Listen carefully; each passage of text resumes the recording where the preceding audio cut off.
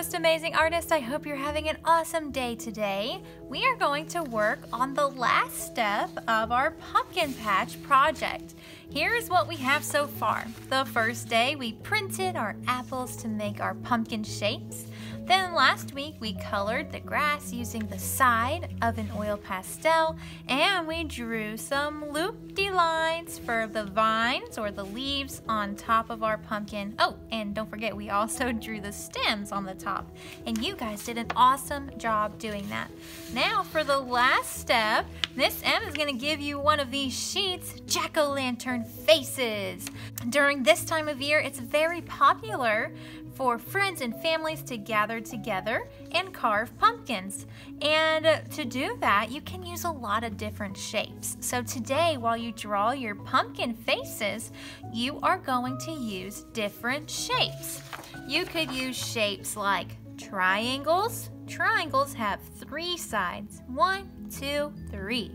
You could use a square. Squares have four sides. One, two, three, four.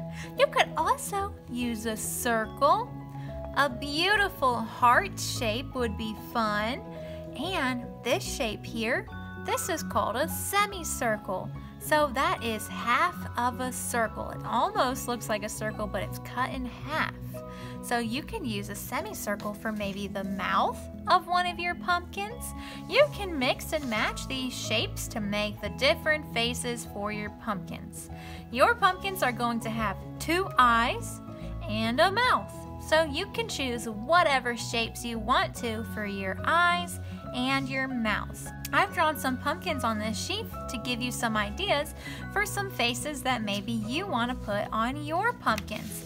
But for every single pumpkin, we're gonna draw a face. So all you're going to need today are your pumpkins and a black crayon. So let's go ahead and get started. I'm gonna start up here on this pumpkin and I think I'll draw this face on my pumpkin. So the eyes, what shapes are those? What shapes are those pumpkin's eyes? Hmm, are they squares? Hmm, squares have four sides. Let's count. One, two, three. Mm, no, it's not a square. It must be a triangle because it has three sides. So we're going to draw two triangles right on our pumpkin. And I colored it in. We only have one eye, so what do I need to do? Draw another eye on my pumpkin. So he has two eyes. And I use triangles. Now I'll use a semicircle. That's half of a circle. And to draw a semicircle, you just draw a line across and then you connect it with a curve. And we're going to color that in. Just like that. So now our first pumpkin is done. Let's do another one together.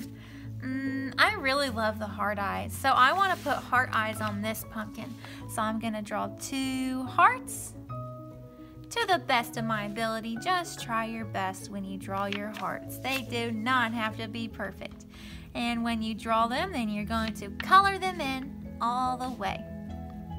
Color those eyes in. Now, what's he missing? Oh, he's missing his mouth. So I have different mouths on these pumpkins and you can choose from them. I think I'll do this mouth with a little tooth sticking out. That's pretty funny. So it's just a curve for the mouth and then what shape is that for the tooth? Oh, it's a square. So then you'll draw a square at the bottom. Just like that. All right, let's do one more together, friends. And I want different eyes this time. So I think, oh, look at this one. For this one, I did regular triangles. And then down here, I flipped the triangles upside down. So you can do that for your shapes if you want to. So instead of a regular triangle, you can draw it upside down to make different kind of eyes for your pumpkin. Just like that. Now, I think I want this pumpkin to be surprised. And I think the circle mouth makes them look pretty surprised, like they, they're shocked. They just saw something surprising. So I'm gonna do a circle for his mouth. Awesome, so I'm gonna do this for every single one of my pumpkins and I'm gonna try to mix and match my different shapes to make the faces for my jack-o'-lanterns. I'm gonna speed this part up, so I will come right back when I'm finished and I'll show you what my pumpkins look like.